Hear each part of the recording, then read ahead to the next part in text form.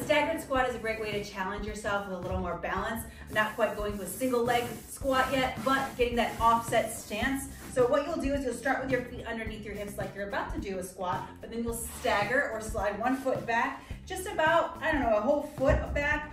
Like to think about my toes being in line with my heels, but still keep your hips squared forward as much as you can with your chest up, and then bend both knees, lowering into a squat, and then stand back up. So you have a few options here. Uh, if you're doing a hold isometric, that means you're holding it at the bottom. The eccentric, let's say it's a three second eccentric, you'll slowly lower yourself down for three seconds and then come back up. You'll also see some goblet um, in some of the programming. So that means you'll hold a dumbbell here, same exact thing, or you might even see dumbbells at your side. So you'll have both dumbbells at your side here, lowering down into the squat and then standing back up. So same idea, just depends on where the dumbbell is um, in your programming. Um, I usually like to switch things up. If you've been holding something up here or a front rack position with both dumbbells up, I might hang the dumbbells down to your side.